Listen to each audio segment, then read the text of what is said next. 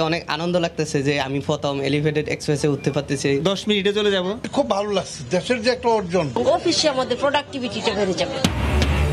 যানজটের নগরীতে বিরতিহীন যাত্রা এলিভেটেড এক্সপ্রেসওয়েতে মাত্র দশ মিনিটে বিমানবন্দর থেকে ফার্মগেট চলাচল যাত্রীদের উচ্ছ্বাস।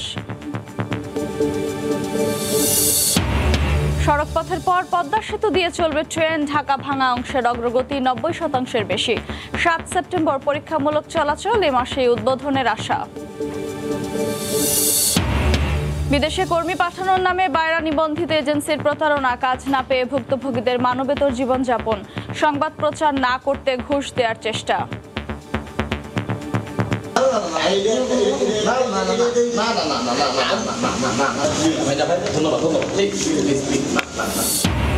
চাল নিয়ে ভারতের সিদ্ধান্ত প্রভাব ফেলবে না, দেশে এই উৎপাদনে উদ্ধৃত থাকায় মিটবে চাহিদা। সুযোগ সন্ধানী কর্পোরেট প্রতিষ্ঠানে নজরদারির পরামর্শ। এবং টিকে থাকার ম্যাচে আজ বাংলাদেশের প্রতিপক্ষ আফগানিস্তান। তরুণদের ওপরই ভরসা রাখতে চান কোচ হাতুরু সিংহে। লাহোরের গাদ্দাফি স্টেডিয়ামে নিরাপত্তা জোরদার।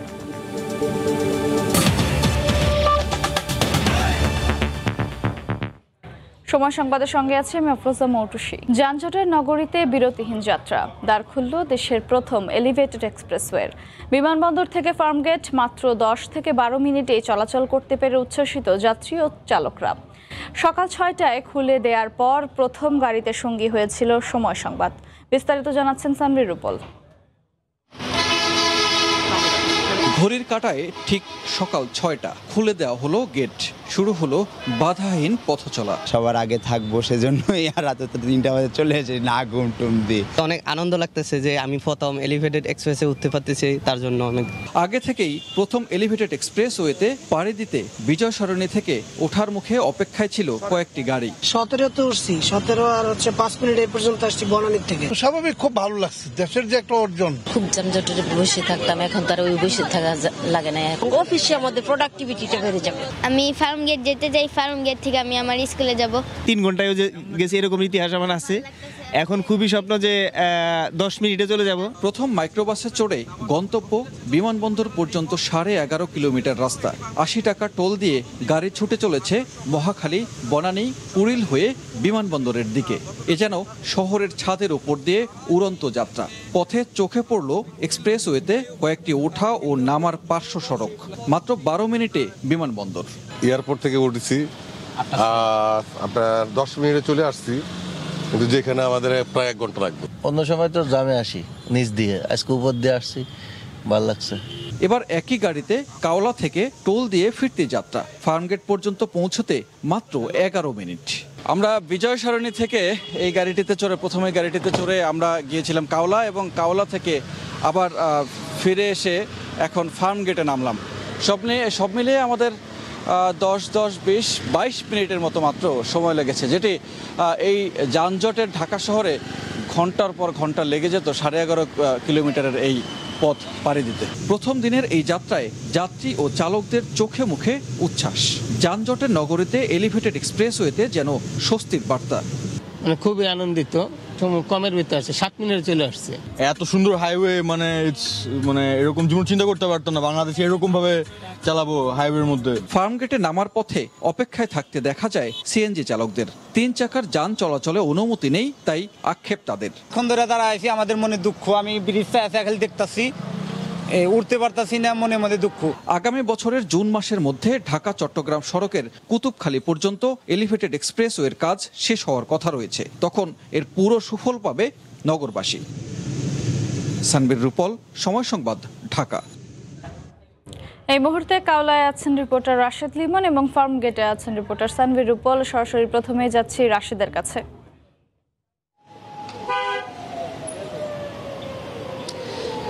প্রথম দিনের অভিজ্ঞতা যদি বলি, এখানকার যাত্রীরা যেমন রয়েছেন, যারা আসলে এই পথে চলাচল করছেন, তারা যেমন উচ্ছ্বাসিত, আনন্দিত এই নগরে হঠাৎ করেই গতির আবির্ভাবে, যেহেতু এলিভেটেড এক্সপ্রেসওয়ে কিন্তু এই নগরে চলার পথটাকে গতিশীল করেছে এবং যারা প্রথম দিন আসছেন, যারা যাচ্ছেন, তারা কিন্তু সবাই আসলে উচ্ছ্বাসিতই রয়েছে। তবে সবচেয়ে বড় কথা, কিছুক্ষণ আগে এখানে প্রকল্প পরিচালক তিনি এসেছিলেন, যদিও তিনি সেই সকাল থেকেই পুরো এই টোল প্লাজার টোল প্লাজা এলাকায় ছিলেন, টোলের বিষয়গুলো দেখছিলেন। তো আমরা তার সঙ্গে যখন কথা বললাম, তিনি তার অভিজ্ঞতার কথাও কিন্তু ভালো বললেন। তার তিনি যেটি বলছেন যে এই মুহূর্তে যদি হিসেবটা হিসেবটা আনি সেক্ষেত্রে কিন্তু আমরা আরও দেখলাম এখানে কিন্তু একজন আমার সামনে থেকে সংসদ সদস্য একজন ছিলেন। তিনিও যাচ্ছেন। আমি একটু তার সঙ্গে কথা বলার চেষ্টা করি। হাবিবি মিল্লাত এমপি মিল্লাত ভাই, প্রথমবারের মতো এলিভেটেড এক্সপ্রেস আসলেন। কেমন অনুভূতি? মানে অভাবিত। আমি আসলে বুঝতে পারছি না। এত আনন্দিত। বিশ্বাস করেন, বাংলাদেশে যে উড়াল সেতু হবে, এটা আসলে জননেত্রী শেখ হাসিনার পক্ষেই সম্ভব, অন্য কারোর পক্ষে সম্ভব না। এটা চিন্তার বাইরে এবং একটার পর একটা মেগা প্রজেক্ট হচ্ছে, আপনারা দেখতে পাচ্ছেন। সুতরাং আমরা খুবই খুশি এবং বাংলাদেশের জনগণ আসলে এই উন্নয়নই দেখতে চায় এবং জননেত্রী শেখ হাসিনাকে আবারও চায়। জি, ধন্যবাদ আপনাকে। আসলে এমনই অনুভূতি কথা কিন্তু আসলে সাধারণ মানুষ যারা তারাও বলছিলেন এই অনুভূতিগুলোর কথা এবং সবাই কিন্তু এই গতি পেয়ে, বিশেষ করে যারা এই পথে নিয়মিত যাতায়াত করেন, তারা আসলে ভালো বলতে পারবেন যে এই পথটায় পাড়ি দিতে, বিশেষ করে যে এগারো কিলোমিটার চালু হচ্ছে, অর্থাৎ বিমানবন্দর থেকে ফার্মগেট যাওয়ার যে আগের অভিজ্ঞতা, সেই অভিজ্ঞতা আসলে বদলে দিচ্ছে। আমি এই প্রান্তে আসলে কাওলা প্রান্তে ঢোকার এই জায়গাটায় রয়েছে, কিন্তু যারা আসলে ফার্মগেট থেকে বা ওই পাশ থেকে আসছেন, তাদের সঙ্গে যখন কথা বলছি, তখন কিন্তু তারা আরও বেশি উচ্ছ্বাসিত বা আরও বেশি উচ্ছ্বাসিত হচ্ছেন। কারণ যারা আসলে বের হওয়ার পথে তাদের সঙ্গে কথা বললে যে তাদের অনুভূতিটা আরও ভালোভাবে প্রকাশ করতে পারে। আমরা এখানে যেমন বলছিলাম, টোল প্লাজায় আসলে তেমন কোনো কিন্তু আমরা সমস্যা দেখিনি। প্রথম দিনে কোনো ধরনের কোনো, একদম বলা যায় নিরবিচ্ছিন্নভাবেই টোল প্লাজাগুলো কিন্তু তাদের কার্যক্রম পরিচালনা করছে টোল প্লাজায় এবং হিসেব পেয়েছি আমরা একটা সকাল ছয়টা থেকে নয়টা পর্যন্ত কিন্তু দুই হাজার একশো সতেরোটি গাড়ি চলাচল করেছে। অর্থাৎ দুই হাজার একশো সতেরোটি গাড়ি, এই ছয়টি যে টোল পয়েন্ট রয়েছে, সেই ছয়টি টোল পয়েন্ট দিয়ে তারা আসলে প্রবেশ করেছে এবং সেই গাড়ির মধ্যে কিন্তু সবচেয়ে বেশি, যেহেতু সকালবেলা যে হিসেবটি ধরা হয়েছিল, সকালের হিসেবটাই যদি বলি যে সবচেয়ে বেশি কিন্তু এই আমি এখানে যেখানে দাঁড়িয়ে আছি, অর্থাৎ কাওলা বা এয়ারপোর্ট যে পয়েন্টটি রয়েছে, সেই পয়েন্ট থেকে কিন্তু তেরোশো একচল্লিশটি, অর্থাৎ অর্ধেকেরও বেশি গাড়ি কিন্তু এই, এখান থেকেই উঠেছে এবং কুড়িলে দুইশো সাতাশটি বনানী থেকে একশো আটানব্বইটি আবার ওই প্রান্ত থেকেও কিন্তু ভালো একটা সংখ্যক, অর্থাৎ তেজগাঁও অংশ, অর্থাৎ যদি বলি আমরা যে বিজয় সরণি যে ওভারপাস রয়েছে ওভারপাসে যে দুইটি ওঠার র্যাম রয়েছে, সেই র্যাম দিয়েও কিন্তু তিনশো একান্নটি গাড়ি উঠেছে। অর্থাৎ এই পুরো এলাকা থেকে যদি বলি, সেই হিসাবে দু হাজার একশো সতেরোটি গাড়ি ওঠানামা করেছে এবং তারা যে বিষয়টি বলছেন যে এর পরের ধাপে, অর্থাৎ বিকেলে যখন গাড়িগুলো যাবে, তখন কিন্তু যে বিকেলে যখন গাড়িগুলো যাবে, তখন কিন্তু আসলে ওই প্রান্ত থেকে একটু বেশি ভিড় হবে। ওই প্রান্ত থেকে একটু বেশি ভিড় হবে এবং সেই ভিড়টা কিন্তু আসলে এই মুখে যারা রয়েছেন, সেই এই মুখে যে যাতায়াত রয়েছে, সেটি কিন্তু আসলে চলবে। তবে সব কিছু মিলিয়ে যে বিষয়টি দেখা হচ্ছে যে সকাল আটটা থেকে নয়টা এই সময়টাতে কিন্তু সবচেয়ে বেশি গাড়ি চলাচল করেছে এবং সেগুলো এই করাইল থেকে ফার্মগেটের দিকে গিয়েছে। তো যেহেতু ফার্মগেটের কথা বলছিলাম, সেখানে রয়েছেন সহকর্মী সানবীর রূপল, সেখানকার পরিস্থিতি জানব তার কাছ থেকে। রূপল? সকাল ছয়টা থেকে শুরু হওয়ার পরে এখন সকাল দশটা বাজে, অর্থাৎ চার ঘণ্টা অতিবাহিত হয়েছে। সকালবেলা একদম প্রথম দিকে গাড়ির চাপ খুব একটি দেখেনি এলিভেটেড এক্সপ্রেস হয়েতে তবে সময় যতই গড়াচ্ছে, ততই গাড়ির চাপ বাড়ছে এবং দেখতে পাচ্ছি একের পর এক সারিবদ্ধভাবে গাড়িগুলো এসে নামছে এই ফার্ম গেটের ইন্দিরা রোডের পাশে, তেজগাঁও কলেজের পাশে যে নামার রাস্তাতে আসে সেখানে। অর্থাৎ প্রথম দিনের অভিজ্ঞতা আমরা যতজনের সাথে কথা বলেছি, সবাই উচ্ছ্বাস প্রকাশ করেছেন।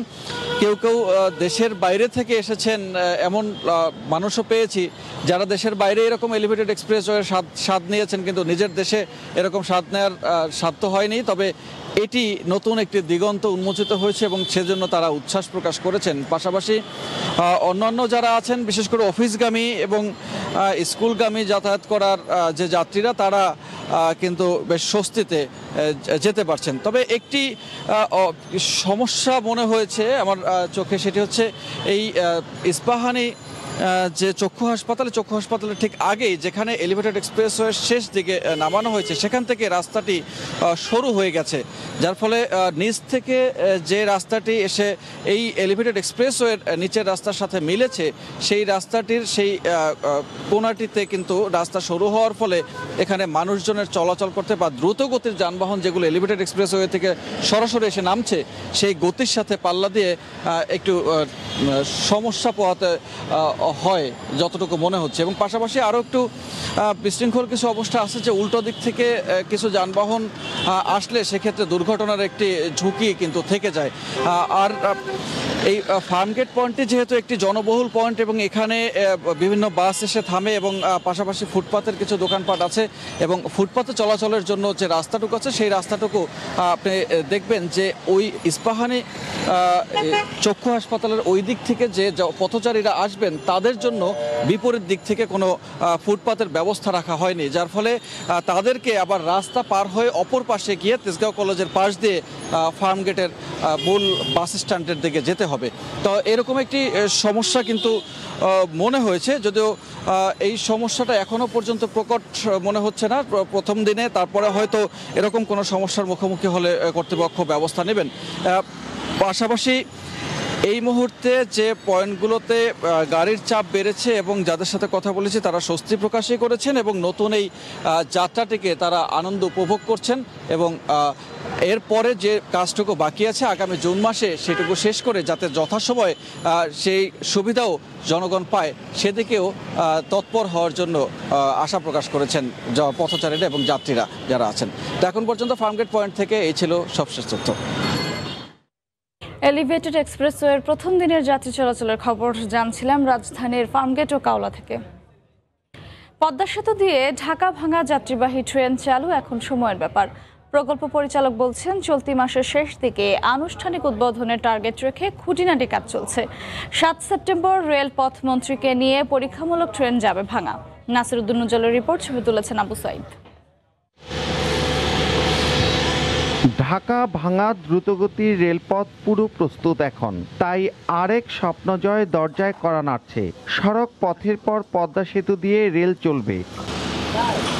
প্রথম থেকেই ঢাকার কমলাপুর, গ্যান্ডারিয়া, মুন্সীগঞ্জের নিমতলা ও মাওয়া স্টেশন, শরীয়তপুরের পদ্মা স্টেশন, মাদারীপুরের শিবচর এবং ফরিদপুরের ভাঙা স্টেশনে যাত্রী ওঠানামা করতে পারবে। আর বাকি স্টেশন সহ ঢাকা থেকে যশোর পর্যন্ত একশো বাহাত্তর কিলোমিটার জুড়ে চলছে বিভিন্ন ধাপের কাজ। অত্যাধুনিক যত ফ্যাসিলিটি পসিবল সবগুলোই এখানে ইনকর্পোরেট করা হয়েছে। একতলা দোতলা এবং তিনতলা যে ভবনগুলো এগুলোর কাজ শেষ পর্যায়ে একদমই শেষ হয়ে গেছে। কিছু ফিনিশিং কাজ বাকি আছে যেগুলো চলমান রয়েছে সামনে মাসের মধ্যে শেষ হয়ে যাবে। প্রকল্প পরিচালক বলছেন চলতি মাসের শেষ দিকেই আনুষ্ঠানিক উদ্বোধন টার্গেট রেখে খুঁটিনাটি কাজ চলছে। আর সাত সেপ্টেম্বর রেলপথ মন্ত্রীকে নিয়ে পরীক্ষামূলক ট্রেন যাবে ভাঙা। রেল লাইন স্থাপন করা হয়ে গেছে। বর্তমানে স্টেশন বিল্ডিং সিগন্যালিং এর কাজ চলমান আছে। এই অংশের অগ্রগতি প্রায় নাইনটি পার্সেন্ট এবং সার্বিক অগ্রগতি প্রায় বিরাশি পার্সেন্ট ঢাকা থেকে ভাঙা পর্যন্ত বিরাশি কিলোমিটার অংশের অগ্রগতি নব্বই শতাংশের বেশি। পদ্মা সেতু ঘিরে দেশের নতুন রেল নেটওয়ার্কের দক্ষিণ পশ্চিমাঞ্চলের কেন্দ্রবিন্দুতে পরিণত হতে যাচ্ছে এই ভাঙা জংশন এখানকার দশটি রেল লাইনের মধ্যে ছয়টি লাইন চালুর পথে আর বাইশটি ভবনের একুশটি সম্পন্ন হয়ে গেছে। সার্বিক অগ্রগতি সত্তর শতাংশ। ফরিদপুরের ভাঙা থেকে নাসির উদ্দিন উজ্জ্বল, সময় সংবাদ। ভারত চাল রফতানি বন্ধ করলে বা রফতানিতে শুল্ক বাড়ালে দেশের বাজারে এর কোনো প্রভাব পড়বে না। অভ্যন্তরীণ উৎপাদন ও চাহিদার হিসেব কষে এমন কথাই বলছেন বিভিন্ন পর্যায়ের ব্যবসায়ীরা।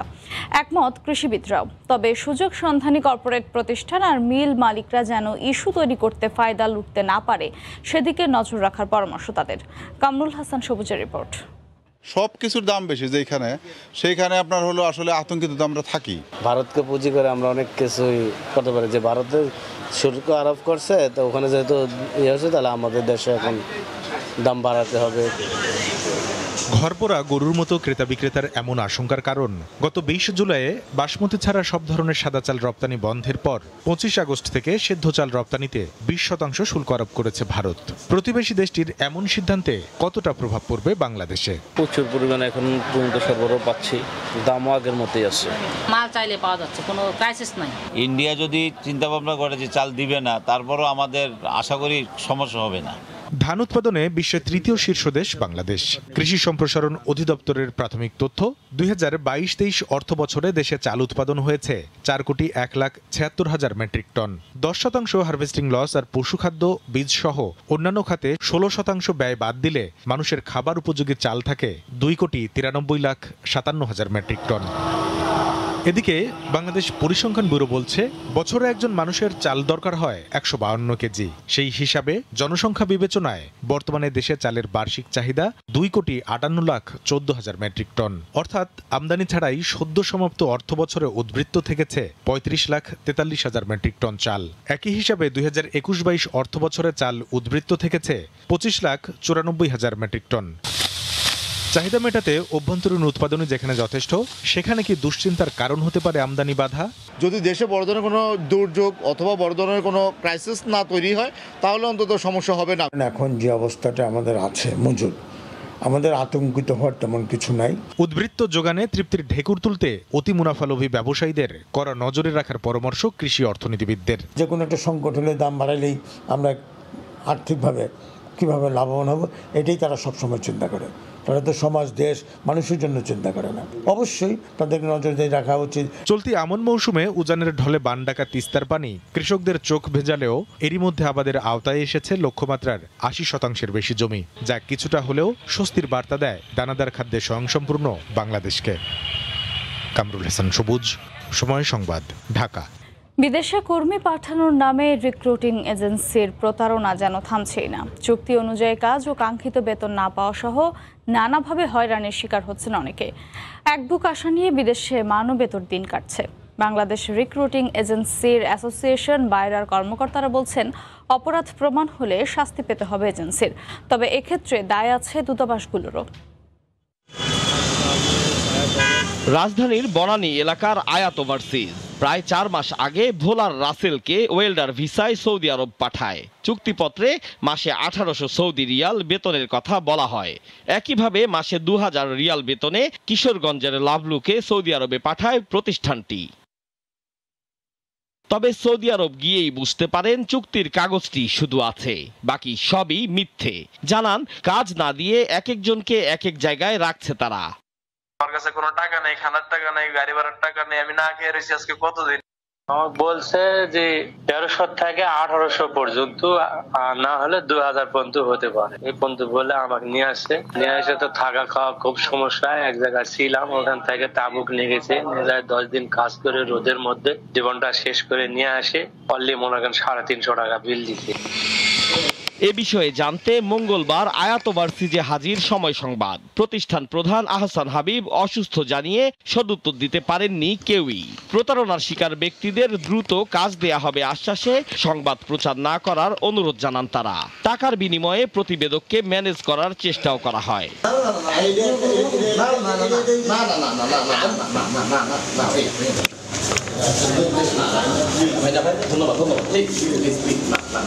বাইরা নিবন্ধিত আয়াত ওভারসিজের এমন প্রতারণার বিষয়ে জানতে চাওয়া হয় বাংলাদেশ রিক্রুটিং এজেন্সিজ অ্যাসোসিয়েশন বাইরার সভাপতির কাছে। অভিযোগ পেলে তদন্ত করে ব্যবস্থা নেওয়ার কথা জানান তিনি। সকল কিছু নিশ্চিত হয়ে কর্মী প্রেরণ করো। এর বাইরে কর্মী প্রেরণ করবে না, কারণ প্রয়োজন নাই। আমি মনে করি আমাদের কেউ যদি এরকম কোনো দুর্নীতি করে থাকে, সেটার জন্য আমরা শাস্তির আওতা আনব এবং তাদের বিরুদ্ধে আমরা ব্যবস্থা নেব। রেমিটেন্স যোদ্ধাদের স্বার্থ রক্ষায় বাংলাদেশি দূতাবাসগুলোকেও আরও দায়িত্বশীল হওয়ার তাগিদ দেন বাইরার নেতারা। আয়াত ওভারসিজেরও দায়িত্ব হচ্ছে যে তাদের আন্তরিকভাবে চেষ্টা করা যদি এই কোম্পানিতে প্রকৃত প্রবলেম থাকে অন্য একটা কোম্পানিতে তাদের চেঞ্জ করতে। হয়তো কিছু অর্থ লাগবে তারপরেও তাদের ব্যবসায়িক সুনামের স্বার্থে মানবিক কারণে এবং সার্বিক বিষয়েই আমি মনে করি যে এটার সমাধান করা উচিত। প্রতারণার শিকার ব্যক্তিদের বাংলাদেশের দূতাবাসে গিয়ে সহায়তার পরামর্শ বাইরার। আতাউর কাউসার সময় সংবাদ ঢাকা। ঢাকা মেডিকেল কলেজ হাসপাতাল থেকে চুরি হওয়া নবজাতককে তিন দিন পর রাজধানীর কামরাঙ্গীর চর থেকে উদ্ধার করেছে পুলিশ। শনিবার রাতে শিশু আবদুল্লাহকে উদ্ধার করা হয়। এর আগে গত একত্রিশে আগস্ট দুপুরে হাসপাতালের একশো ছয় নম্বর ওয়ার্ড থেকে চুরি হয় হিরণ শাহিনা দম্পতির নবজাতক সন্তান আবদুল্লাহ। ওই দিনই শিশু চুরির ঘটনায় শাহবাগ থানা একটি মামলা দায়ের করে তার বাবা। এরপর মাঠে নামে পুলিশ র্যাব সহ একাধিক সংস্থা। চুরির ঘটনায় প্রধান সন্দেহভাজন একই ওয়ার্ডে ভর্তি নুসরাত আক্তার সম্পাকে ইতোমধ্যে হেফাজতে নিয়েছে শাহবাগ থানা পুলিশ। ছয় বছরের এক ছেলে ও সাড়ে চার বছরের মেয়ের পর গত শনিবার তার আরেকটি মেয়ে সন্তানের জন্ম হয়। আবদুল্লার মায়ের বুকের দুধ না পাওয়ায় ওই সম্পাই নিজের বুকের দুধ পান করিয়ে আসছিলেন আবদুল্লাহকে।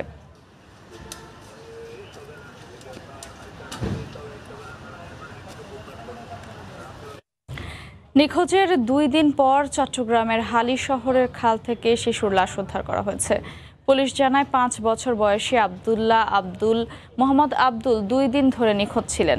শনিবার রাত আটটার দিকে হালি শহরের পাঁচতলা এলাকার শফিক সাহেবের কলোনির পাশের খালে শিশুটির লাশ ভাসতে দেখেন স্থানীয়রা।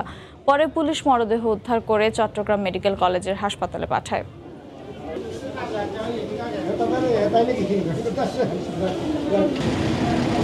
জামালপুরের বাহাদুরাবাদ পয়েন্টে বিপদসীমার ২৬ সেন্টিমিটার ওপর দিয়ে বইছে যমুনার পানি। দুর্ভোগে যমুনা পাড়ের দুই উপজেলার অন্তত পঞ্চাশ হাজার মানুষ। বিস্তারিত জানাতে ইসলামপুরের গুঠাইল এলাকায় আছেন সহকর্মী জাহাঙ্গীর আলম, সরাসরি যাচ্ছি তার কাছে। জামালপুরের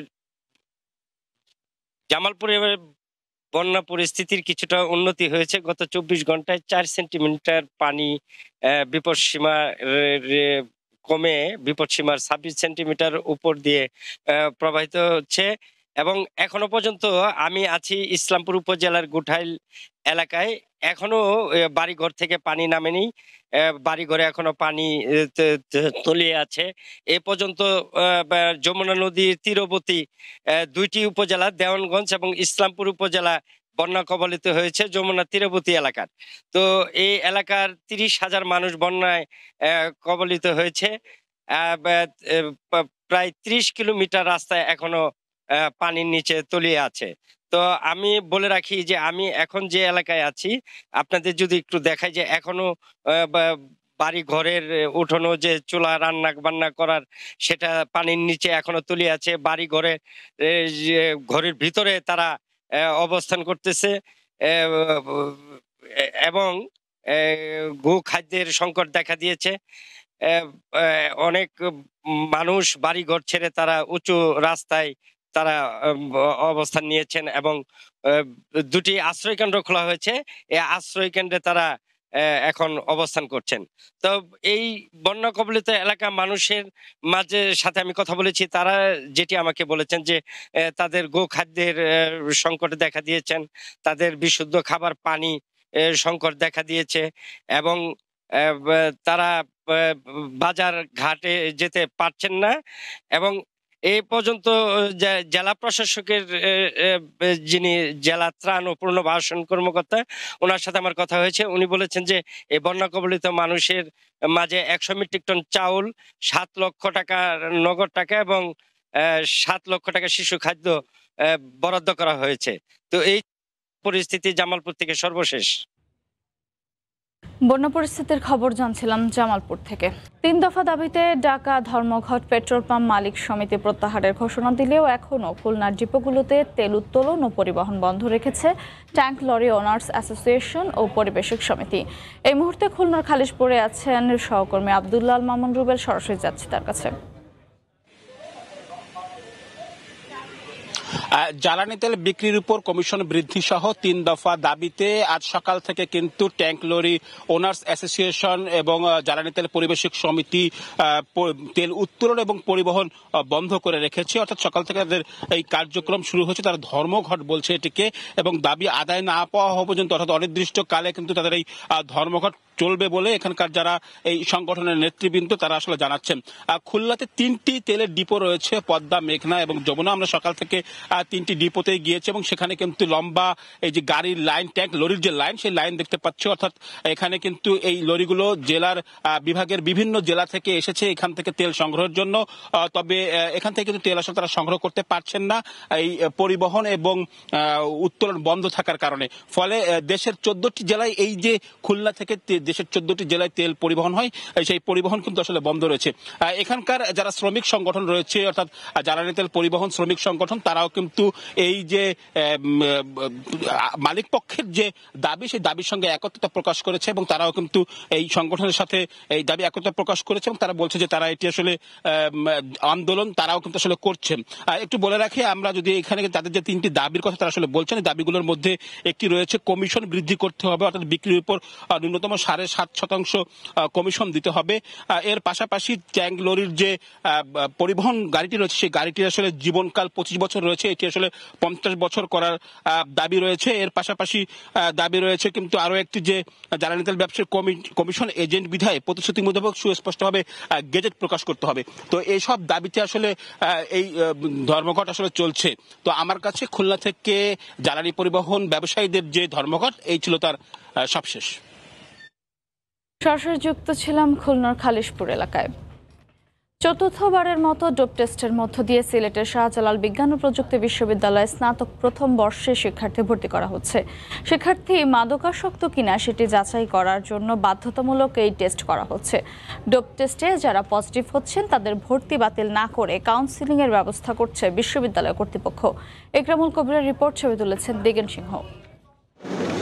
স্বপ্নের বিশ্ববিদ্যালয়ে ভর্তির সুযোগ পেয়ে সবার চোখে মুখে অন্য অনুভূতি। ভর্তির আনুষ্ঠানিকতায় ডোপ টেস্টের মধ্য দিয়ে পাড়ি দিতে হবে শিক্ষার্থীদের। দু হাজার উনিশ বিশ শিক্ষাবর্ষ থেকে শাহজালাল বিজ্ঞান ও প্রযুক্তি বিশ্ববিদ্যালয়ে ডোপ টেস্ট কার্যক্রম পরিচালিত হচ্ছে। ডোপ টেস্টে অংশগ্রহণকারী শিক্ষার্থীরা এই সিদ্ধান্তকে স্বাগত জানিয়েছে। যারা করে তারা সহজেই শনাক্ত হতে পারে। আর যদি এগুলো করে, তাহলে সতর্ক থাকবে। ফিউচারে ভালো হবে। একটা মাদক মুক্ত পরিবেশ সব ইউনিভার্সিটি এটা এটা অন্যতম লক্ষ্য বলে আমি মনে করি। গত সাতাইশ আগস্ট থেকে দু হাজার বাইশ তেইশ সেশনের এই বিশ্ববিদ্যালয়ের প্রথম বর্ষের ভর্তি কার্যক্রম শুরু হয়েছে। ডোপ টেস্টের যাবতীয় কাজ বিশ্ববিদ্যালয়ের বায়োকেমিস্ট অ্যান্ড মলিকুলার বায়োলজি বিভাগ পরিচালনা করে। প্রথম ধাপে পনেরোশো শিক্ষার্থীর ডোপ টেস্ট করা হচ্ছে। ডোপ টেস্টের আমরা মাঝে মাঝে কয়েকটা পেয়েছি পজিটিভ রেজাল্টস তো এই ক্ষেত্রে আমাদের যে, আমরা তাকে ভর্তি করব। ভর্তি করার পরে তাকে আমরা কন্টিনিউয়াস মনিটরিং এবং তার মাত্রা অনুযায়ী তাকে রিহেবের ব্যবস্থা এবং কন্টিনিউয়াস কাউন্সিলিংয়ের ব্যবস্থা আমরা রেখেছি। ক্যাম্পাস শতভাগ মাদক মুক্ত করার লক্ষ্যে শিক্ষার্থীদের ডোপ টেস্ট করার ব্যবস্থা করা হয়েছে। শুধু ভর্তির সময় নয় সারা বছর জুড়ে সেই ব্যবস্থা ক্যাম্পাসে চালু থাকবে বলে উপাচার্য জানান। শুধুমাত্র ভর্তি পরীক্ষার সময় করব তা না আমরা এটাকে আপনার যে অ্যাট র্যান্ডম করব মাঝামাঝি। আমাদের যে ছাত্র উপদেষ্টা আছে তাদের উপরে আমাদের নির্দেশনা আছে তারা জিনিসটা খেয়াল করবে ক্লাসে শিক্ষকদের সাথে সহায়তায়। শাহজালাল বিশ্ববিদ্যালয়ে ডোপ টেস্ট চালুর পর দেশের সব বিশ্ববিদ্যালয়ে ভর্তিতে ডোপ টেস্ট বাধ্যতামূলক করার নির্দেশ দিয়েছে শিক্ষা মন্ত্রণালয়। ইকরামুল কবির সময় সংবাদ সিলেট। একশো ত্রিশ কোটি মানুষের দেশ ভারতে একই সঙ্গে হবে লোকসভা ও বিধানসভার নির্বাচন। শুনতে অবাক লাগলেও সম্প্রতি এমনই এক পরিকল্পনায় হাতে নিয়েছে ক্ষমতাসীন বিজেপি সরকার। এক দেশ, এক নির্বাচন নামে এই প্রকল্পের সম্ভাব্যতা যাচাইয়ে এরই মধ্যে গঠন করা হয়েছে বিশেষ কমিটি। এ লক্ষ্যে আগামী আঠারো থেকে বাইশ সেপ্টেম্বর ডাকা হয়েছে লোকসভার বিশেষ অধিবেশন, যেখানে পাশ হতে পারে একসঙ্গে দুই নির্বাচন আয়োজন সংক্রান্ত বিশেষ একটি বিল। আগামী বছরে লোকসভা নির্বাচন সামনে রেখে এখন থেকেই উত্তপ্ত হতে শুরু করেছে ভারতের রাজনীতির মাঠ। চলছে জোট আর পাল্টা জোট গঠনের প্রতিযোগিতা। রাজনীতিকরা ব্যস্ত কথা লড়াইয়ে। এর মধ্যেই নতুন এক ইস্যুতে আবারও সরগরম গোটা ভারতের রাজনীতি। একশো ত্রিশ কোটি মানুষের দেশ ভারতে একই সঙ্গে লোকসভা ও বিধানসভা নির্বাচন আয়োজন করতে চায় ক্ষমতাসীন বিজেপি সরকার। শুধু তাই নয় এক দেশ এক নির্বাচন নামে এ প্রকল্পের সম্ভাব্যতা যাচাইয়ে সাবেক রাষ্ট্রপতি রামনাথ কোবিন্দের নেতৃত্বে এরই মধ্যে গঠন করা হয়েছে বিশেষ একটি কমিটি। ডাকা হয়েছে পার্লামেন্টের বিশেষ অধিবেশনও।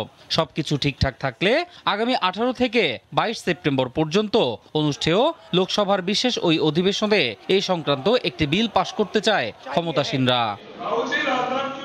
তবে এরই মধ্যে বিজেপি সরকারের এমন পরিকল্পনার তীব্র সমালোচনায় মুখর বিরোধীরা। তাদের বক্তব্য, কেন্দ্রীয় সরকার বর্তমান নির্বাচন কাঠামো ভেঙে দিয়ে মার্কিন ধাঁচের ভোট ব্যবস্থা পরিচালনা করতে চাইছে। তাদের আশঙ্কা রাজ্য কেন্দ্রিক বিভিন্ন বিষয়কে ধামাচাপা দিয়ে কেন্দ্রীয় ইস্যুতে গোটা দেশের নির্বাচনকে প্রভাবিত করতে চায় বিজেপি। তবে একসঙ্গে লোকসভা ও বিধানসভা ভোট আয়োজনের নজির ভারতে নতুন নয়। উনিশশো সাল পর্যন্ত দেশটিতে একই সঙ্গে অনুষ্ঠিত হতো দুই নির্বাচন। অন্যয় কর্মকার, সময় সংবাদ। কানাডায় হঠাৎ করে বেড়েছে অভিবাসীর ঢল। বার্তা সংস্থা রয়টার্স বলছে, প্রবেশ ঠেকাতে চলতি বছর যুক্তরাষ্ট্রের সঙ্গে চুক্তি করার পর প্রথম দিকে সীমান্ত দিয়ে প্রবেশ কমলেও হঠাৎ করে বেড়েছে অভিবাসন প্রত্যাশীদের স্রোত। এখন সীমান্তের পরিবর্তে আকাশপথ এবং চোরাইভাবে সীমান্ত পার হচ্ছেন তারা। যুক্তরাষ্ট্র থেকে শরণার্থীদের স্রোত কমাতে চলতি বছরে দেশটির সঙ্গে একটি চুক্তি করে কানাডা। চুক্তির পর যুক্তরাষ্ট্রের সীমান্ত দিয়ে কানাডার শরণার্থী প্রবেশ অনেকটাই কমে যায়। প্রাথমিক অবস্থায় ধারণা করা হয়েছিল এই চুক্তির মাধ্যমে কানাডায় শরণার্থীদের স্রোত থামানো গেছে। তবে চুক্তিটির পাঁচ মাস পর পাল্টাতে শুরু করেছে পরিস্থিতি। আবারও দেশটিতে বাড়ছে অভিবাসী ঢল। শরণার্থী হিসেবে কানাডায় আশ্রয় প্রার্থীর সংখ্যা কমার বদলে আবারও বাড়তে শুরু করেছে। এখন সীমান্ত দিয়ে আসার বদলে আশ্রয় প্রার্থীরা আসছেন বিমানে করে। অনেকে আবার অবৈধভাবে সীমান্ত পার হয়ে ঢুকছেন কানাডায়। আশ্রয় আগ পর্যন্ত থাকছেন আত্মগোপনে। বসবাসের দ্রুত অনুমোদন দেয় কানাডাকে নিরাপদ গন্তব্য হিসেবে মনে করেন অভিবাসীরা। এছাড়া ইউরোপ সহ বিশ্বের অন্যান্য দেশে আশ্রয়ের বিষয়টি কঠিন হয়ে যাওয়ায় কানাডার দিকে ঝুঁকছেন তারা। দু হাজার পঁচিশ সালের মধ্যে প্রায় পাঁচ লাখ অভিবাসীকে আশ্রয় দেওয়ার পরিকল্পনা রয়েছে দেশটির। ধারণা করা হচ্ছে এজন্যই কানাডায় ঢল বাড়ছে অভিবাসীদের। রবিউল ইসলাম আওলাদ, সময় সংবাদ। এশিয়া কাপের খবর। এশিয়া কাপে টিকে থাকার লড়াইয়ে আজ আফগানিস্তানের মুখোমুখি হবে বাংলাদেশ। টপ অর্ডারের ব্যর্থতা নিয়ে চিন্তিত হলেও তরুণদের উপর ভরসা রাখতে চান head coach Chandika Hathurusingha. সম্প্রতি আফগানদের বিপক্ষে খেলার অভিজ্ঞতা থেকে আত্মবিশ্বাসী বাংলাদেশ। বোলিং মূল শক্তি হলেও ব্যাটিং নিয়ে কঠোর অনুশীলন করায় আশাবাদী আফগানরাও। গাদ্দাফি স্টেডিয়ামে ম্যাচটি শুরু হবে বাংলাদেশ সময় বিকেল সাড়ে তিনটায়। পাকিস্তান থেকে মাকসুম আলম খানের রিপোর্ট। লাহোরের গাদ্দাফি স্টেডিয়ামে বাংলাদেশ দলের দীর্ঘ অনুশীলন। প্রথমবারের মতো তারা এই স্টেডিয়ামে অনুশীলন করেছে এবং লাহোরের এই যে উইকেটটা, উইকেটের সঙ্গে একটা সক্ষতা গড়ে নেওয়ার চেষ্টা করেছে। লাহোরের এই ওয়েদারের সঙ্গে একটা সক্ষতা গড়ে নেওয়ার চেষ্টা করেছে। যেহেতু ডে নাইট ম্যাচ ফ্লাড লাইটেও তাদের পূর্ণাঙ্গ অনুশীলনটা তারা সেরে নেওয়ার চেষ্টা করেছে।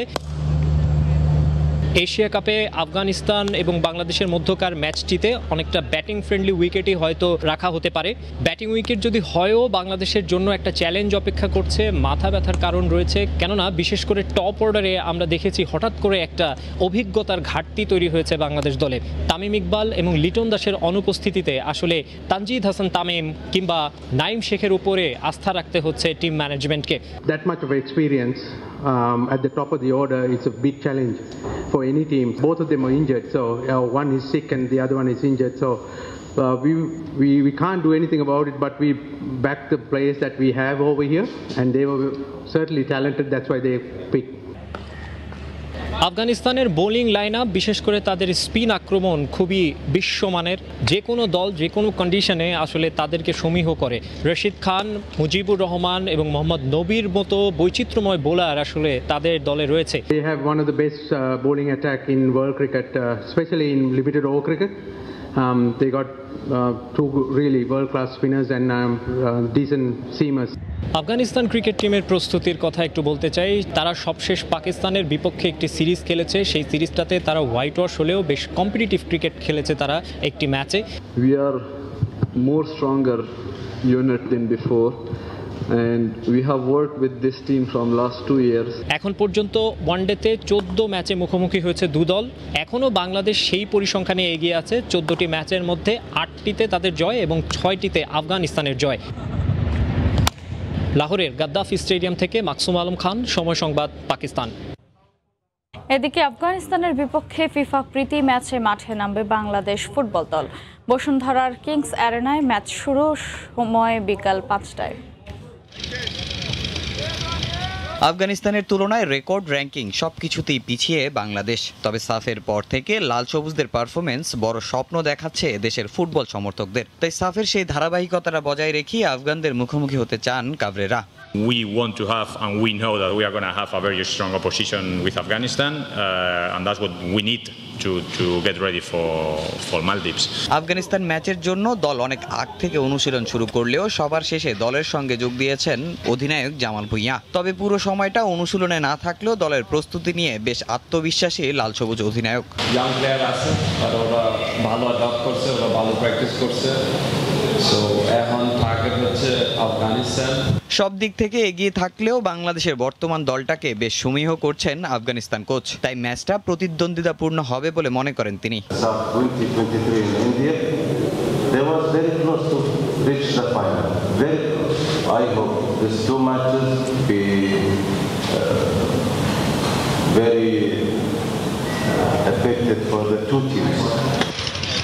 দুই হাজার বিশ সালের নভেম্বরে ঢাকায় সবশেষ আন্তর্জাতিক ম্যাচ খেলেছিল বাংলাদেশ।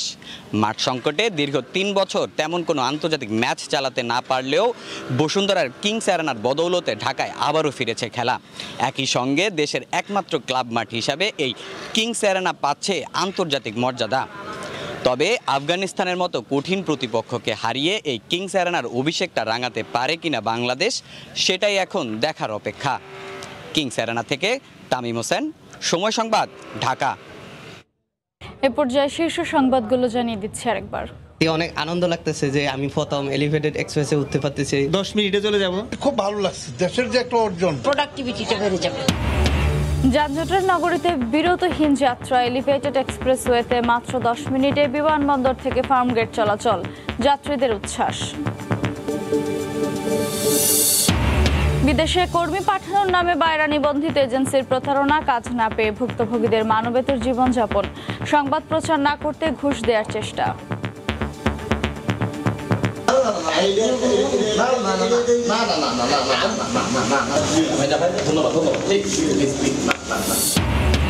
এবং টিকে থাকার ম্যাচে আজ বাংলাদেশের প্রতিপক্ষ আফগানিস্তান তরুণদের ওপরই ভরসা রাখতে চান কোচ হাতুরু সিংহে। লাহোরের গাদ্দাফি স্টেডিয়ামে নিরাপত্তা জোরদার। এই ছিল সময় সংবাদের সঙ্গে থাকুন সময়ের